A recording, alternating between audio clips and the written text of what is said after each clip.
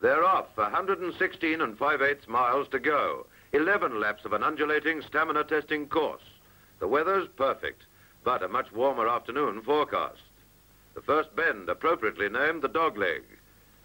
The pace steady, each rider getting the feel of the race and taking particular note of every inch of the course to see that there are no changes.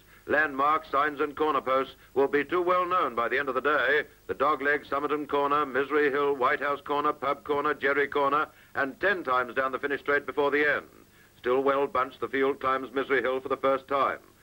Even at this early stage, Lady Luck shows her hand. Montilla, Venezuela, slipped his chain. Valuable seconds lost.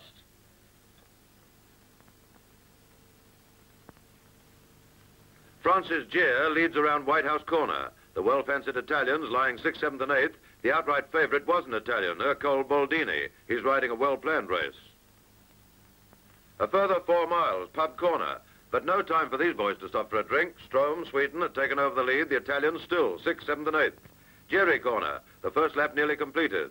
With a mixed field of roadmen and a big entry of the Velodrome Stars, it's anyone's race at this stage. Fastest time for lap one, 28 minutes, 6 seconds an average speed of over 23 mile an hour. The day's starting to get warmer. There's 10 more laps to go, and at an average of 30 minutes per lap, approximately five more hours of power pedaling to the finish line. It's a big day in Broadmeadows. Every vantage point is crowded. Leaders and left behinds receive the same cheer of encouragement. For cycling enthusiasts, this is the Olympic Games. End of lap two. The time, 56 minutes, 8 seconds. We'll miss four laps and come in at lap six, dogleg corner. Italian Pambianco has jumped to a 22-second lead. Baldini gambled that he couldn't sustain the pace. Jerry Corner, Pambianco out of sight, but the second group, including Baldini, not worrying unduly.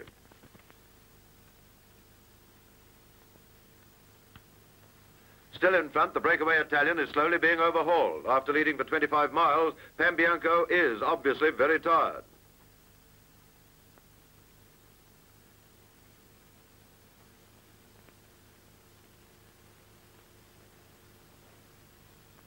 By Misery Hill, he's dropped back into the main bunch. Nyman in front, just ahead of Geyre. Baldini on the left, sitting right behind the leaders. He won't make a break until absolutely sure he can keep it.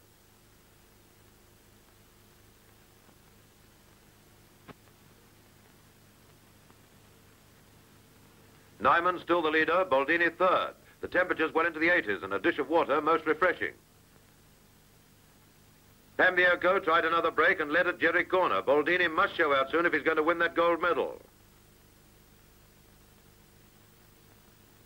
Two laps to go. Baldini decides the time's right to make his effort, and what a breakaway. Riding beautifully, the 23-year-old Italian, a farmer back home, literally left the rest of the field for dead. One lap, 11 and 5 eighths miles to go. And unless something unforeseen occurs, Baldini must take home the gold medal. Up Misery Hill. Two minutes ahead at White House Corner, the greatest display of power road cycling ever seen in Australia. There's no one in the rest of the field who could possibly challenge the flying Italian. Nyman, two-thirds of a mile behind Baldini, leads the rest of the field. Nearly 10 miles separates the leader and the last man.